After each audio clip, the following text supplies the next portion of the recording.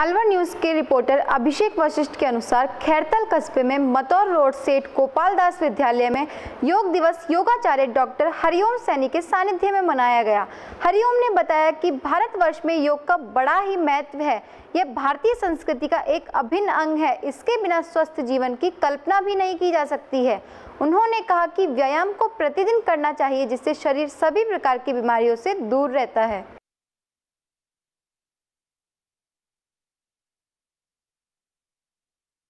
एवं भारतवासियों को आज 21 जून को विश्व योग दिवस की हार्दिक शुभकामनाएँ।